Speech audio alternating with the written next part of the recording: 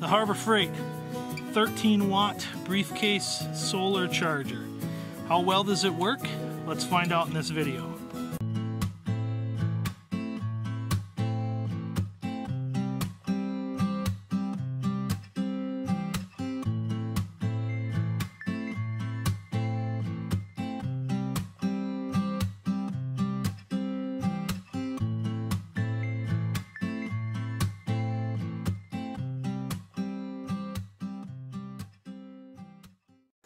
So, this is our Thunderbolt solar, but you can get it at Harbor Freight.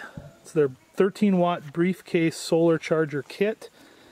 Comes with everything that's shown on the box there. The only thing that I'm really using are the are these cables here for attaching to my battery.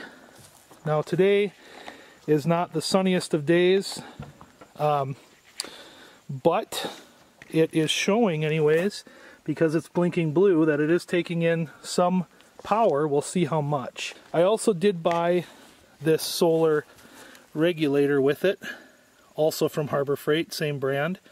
So I'm going to test the battery leads here.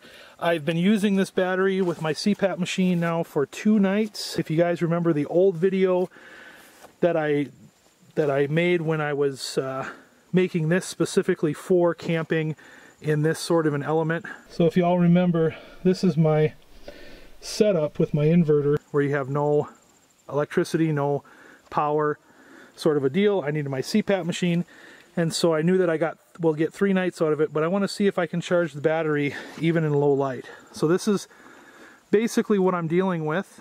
It's overcast today. It's rained for the last two days and uh, there's some pretty moderate tree cover up above us. As you can see, there's kind of a wide opening here, but we'll see what we can get. How many volts?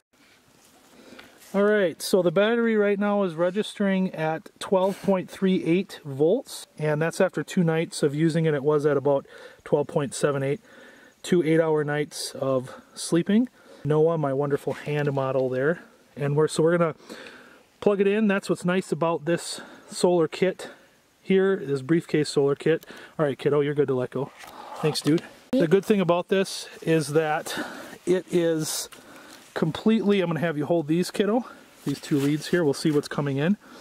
It's basically just plug and play, and I'll show you that in just a second. No, it's not gonna shock you.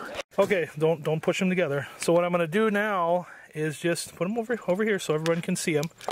Whoops. Ouch. Ah, that didn't hurt you. No, it just like. See what we got for power coming in. So it's showing 14.3, 14.39 volts that are coming in.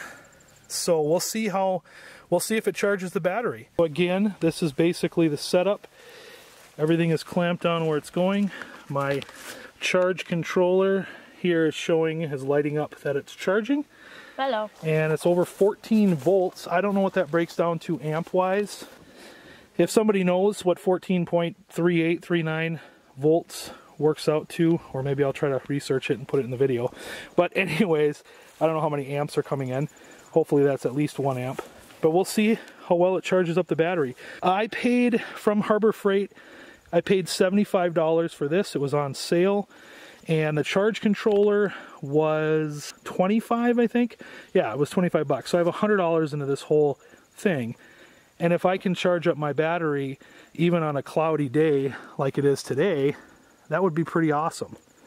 So we'll see. So two hours right now is the best sunlight we've had all day. Two hours, again with this Harbor Freight Thunderbolt panel. And we are up to 12.3 or 12.43 volts in the batteries. So it charged it. And that was in almost complete and utter failure of sun. I mean, we had no sun for a long time. This is the most sun that we've had all day. And it's two hours with these solar panels going, complete clouds. All right, so overall, I would say that this Thunderbolt Magnum Solar 13 watt briefcase solar charger, which is a mouthful, is also a huge success. This came from Harbor Freight I paid about 75 bucks for it and then I also bought the small um, non-digital, it's just a light basically that, that comes on um, charge controller. There they call it a charge regulator. So this this unit, I would call it a, a huge success. Yesterday was a full full out cloud day, and I only ran it for about two hours, hooked up to my deep cycle battery, and it charged it.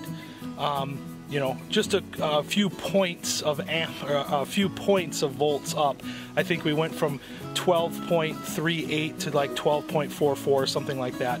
But either way, that's pretty cool. Not even direct sun, and this thing is is is working. So I would call it a huge success. I had enough battery power this morning to charge the battery for this camera because it died halfway through filming this last uh, yesterday, yesterday evening when the sun finally did come out, but then it was down below the trees.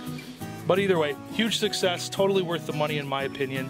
If you've got more questions about how it all worked, uh, go ahead and put that in the comment section down below. Until next time, thanks for tuning in to Our Scamp Life. Hit that subscribe button, and God bless.